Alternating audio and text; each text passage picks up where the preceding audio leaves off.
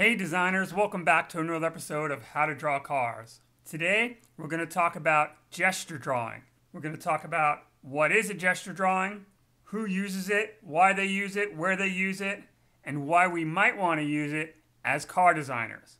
But before we get started, if you're struggling to take your design and drawing abilities to the next level, or you're preparing a portfolio for application to a top design school, be sure to check out the tailored course program at howtodrawcars.net. Our students are winning competitions, getting accepted to the world's most prestigious design schools, and getting awarded scholarships to those very same schools. If you have the passion and are ready to take your skills to the next level, check out the tailored course program at howtodrawcars.net. So let's talk gesture drawings. What are they? A gesture drawing is the essence of something. It doesn't have to be technically perfect, but it captures the character it captures the emotion and it captures the essence of, in this case, a figure, a movement of a figure. So, what kind of creative people use gesture drawings? Obviously, fine artists do, painters, sculptors, people who are looking to warm up when they do a figure drawing will do gesture drawings for 15 minutes to get loose in the same way that a car designer will draw speed forms to get loose. Animators use gesture drawings, character designers. The whole entire fashion industry uses an illustration technique that is at its essence gesture drawing. Architects can even use gesture drawings as a way to come up with new forms for a building. And of course, car designers can use them because we're always looking to capture something when we sit down to draw or start modeling clay. We're looking to capture an expression and a feeling, and gesture drawing is a great way to capture, like I was saying earlier, the essence of a movement. So, what are some of our sources or resources that we can use for gesture drawing? Well, when I was in college, my girlfriend at the time was a dancer at a very prestigious school in New York City. And when I had the day off, I would go to class with her and watch her and her classmates move what they call move across the floor. And I would sit there and I would sketch this movement. And it was profoundly helpful to me when I came back home and started to draw cars again. So, dance or dancers are a great resource to use for gesture drawing studies.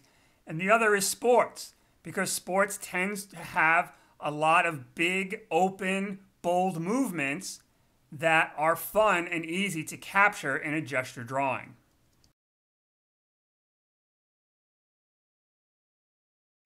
So, what are the elements of a good gesture drawing? The first one, and probably the most important, is your line of action. A line of action is really the gesture that the figure is making in one line. But how do you turn this line into a figure or into a form? You add three more the shoulders, the hips, and the spine. These make up the major axes of your figure.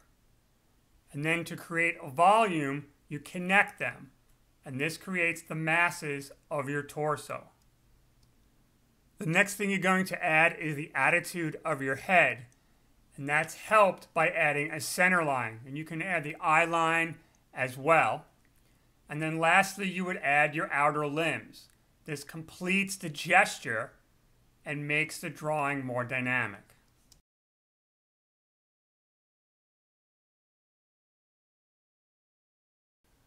So now that we know what the elements of a good gesture drawing are, let's put those into practice and do one. So the first thing I'm going to do is put in my line of action. The ski racer coming down the hill, right on the edge. I put in my head, my eye line, because I've got those goggles to work with, my shoulders, my hips. I start to build my torso. I link those axes together and I start to build the mass of my volume.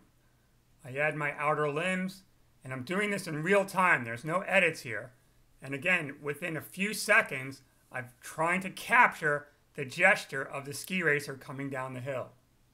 Now, another thing you should pay close attention to is the movement of my pencil. I'm not scratching along the paper. I'm drawing this from my shoulder using big, bold, swoopy lines. Hmm, I wonder where that would come in handy if I wanted to draw something else, maybe something with some wheels on it. Wonder if that would be a good way to draw it, like with big swooping lines drawn from my shoulder. Hmm, I wonder if that would be a, a relevant way to do a sketch of maybe, oh, I don't know, a vehicle. So this exercise, when you say like, why, why are you teaching us this? Why are you showing us this? Is because this is directly related to drawing cars. If you want to get better at drawing cars, get really good at doing these kinds of gesture drawings. You will see a vast improvement in your car sketching because you'll be improving your ability to see and to draw. And that's going to help anything that you draw, including cars. So, in under two minutes, I've captured the essence of the movement of the ski racer coming down the hill using exactly the same techniques that I would use if I was drawing a vehicle. Let's try another one.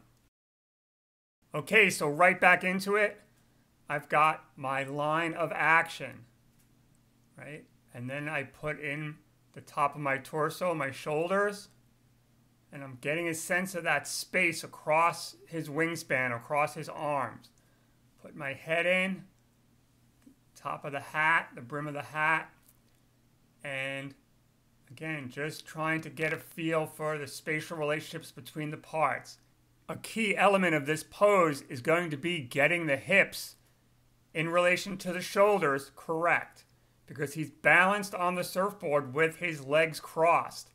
So unless I capture that correctly, the sketch will not look believable.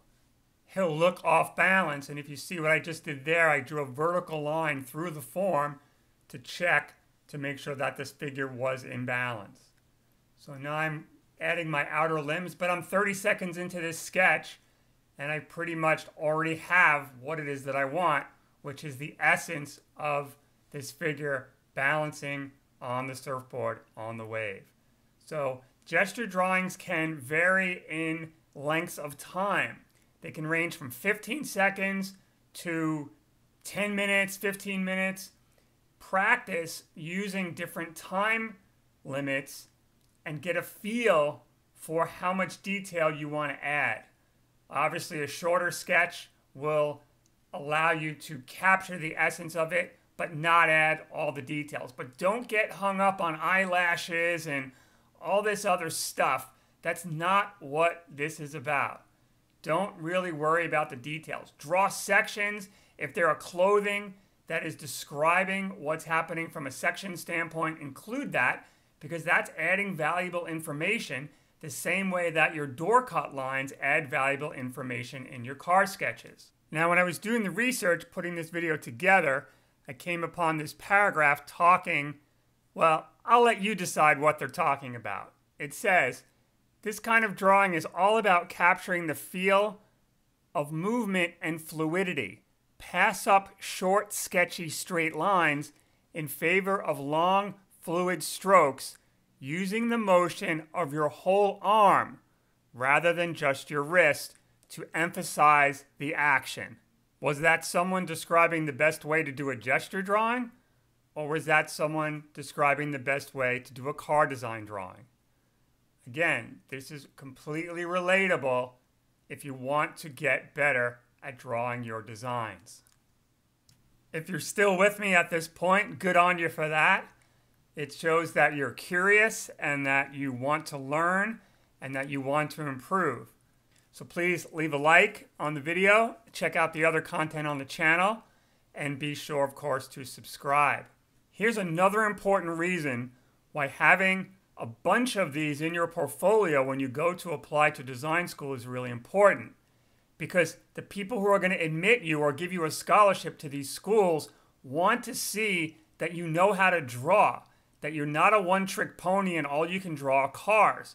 So to have a book, a sketchbook, or a stack of these gesture drawings or figure drawings is going to help you immensely with your portfolio when it comes time to apply to a top school.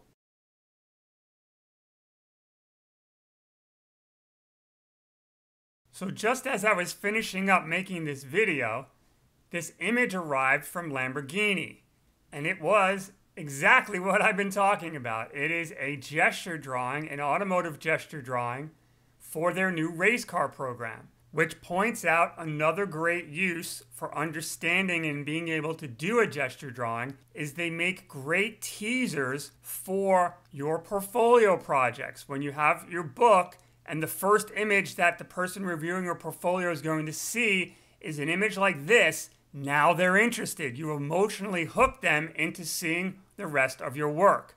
So use automotive gesture drawings as teasers in your portfolio. The idea of capturing the gesture of a figure is exactly the same as capturing the gesture of a vehicle. The technique of drawing from your shoulder, which so many young aspiring designers have trouble understanding and have trouble mastering, is completely transferable from drawing figures, doing gesture drawings, to drawing lines in car design drawings. So practice your figures, practice these gesture drawings, do stuff that you love, do stuff that's that, that's you're passionate about, sports and other things that you're passionate about, and then come back to cars and see if you don't improve. Let me know in the comments. Of course, ask me any questions. Please check out the courses on Udemy. The links are in the description below. As always, thanks for watching.